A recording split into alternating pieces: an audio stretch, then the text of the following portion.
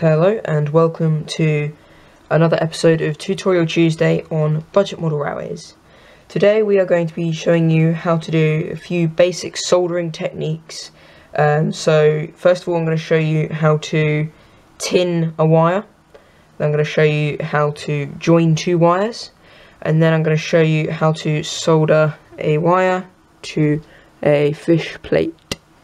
So what you're going to want to do to tin a wire is first of all find a wire, strip the ends, I've got both ends stripped, and then first of all twist it nice and tightly like you would for a normal wire into a connector block.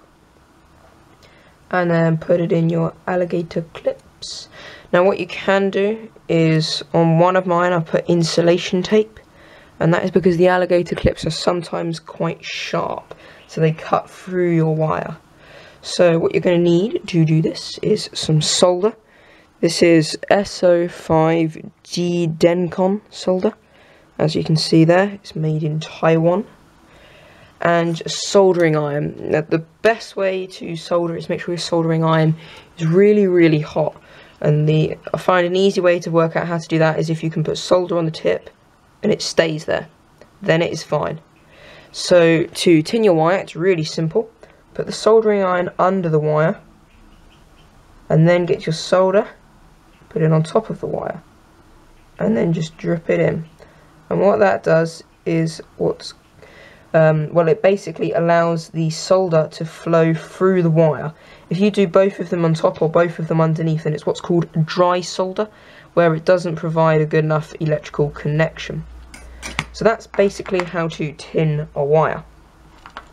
So for the next thing, as I said, I'm going to show you how to connect two wires and tin them.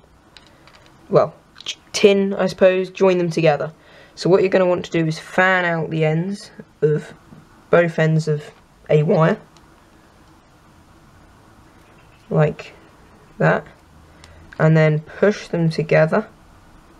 And then twist them together. Like that. Nice and simple. Put them in the alligator clips. Now if you're wondering what this is this is called a helping hands or a third arm or anything like that. I'll leave a link in the description as to where you can get one. And again for connecting them you're going to do the same thing as when tinning. Put the soldering iron underneath melt a little bit of solder onto the soldering iron tip put it under and then melt the solder through like that. Sometimes you need to put a little bit of solder on the soldering iron before to help it all melt.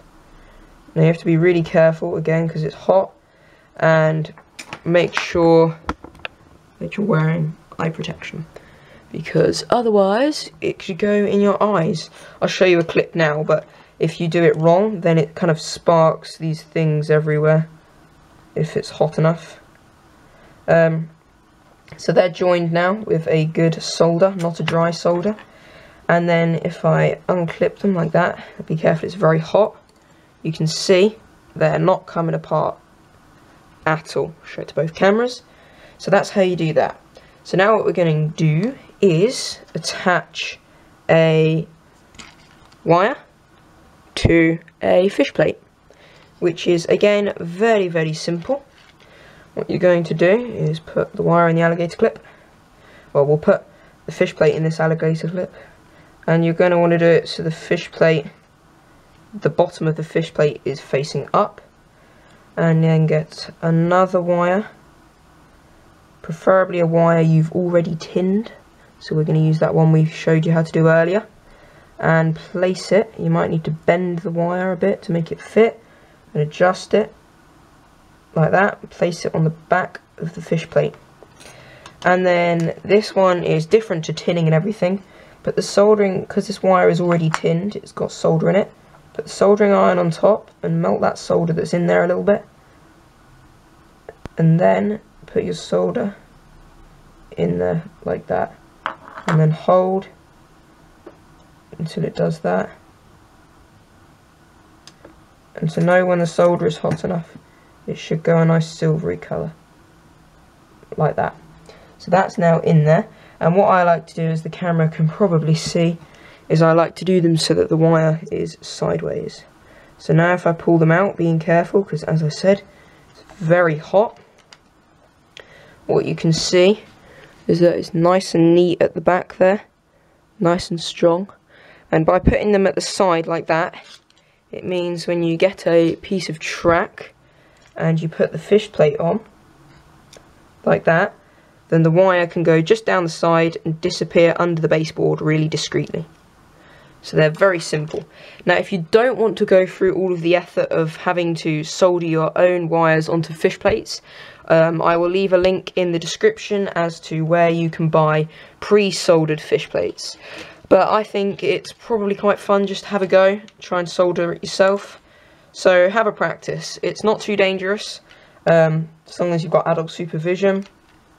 As I've said before, I don't need adult supervision because my dad is clumsier than I am. Um, so a few tips. Again, let the soldering iron get really hot. It works a lot better when it's really, really hot. Make sure to tin the wires and do not do a dry solder. And when soldering thing um, wires to anything, make sure that the solder goes a nice chromy silver shiny colour before you take the soldering iron off and then make sure that it doesn't move and that it's held in place for about 10 seconds after you remove the soldering iron until it solidifies and then you get a really strong connection. So thanks for watching this episode of Tutorial Tuesday. Uh, don't forget to check back next Tuesday for another tutorial. Hi, and thanks for watching this episode of Tutorial Tuesday. Don't forget to click on the left to see our playlist with all of our Tutorial Tuesdays in, click on the right to see our last week's Tutorial Tuesday, and click at the bottom to subscribe to our channel and make sure to check back every week for new Tutorial Tuesdays.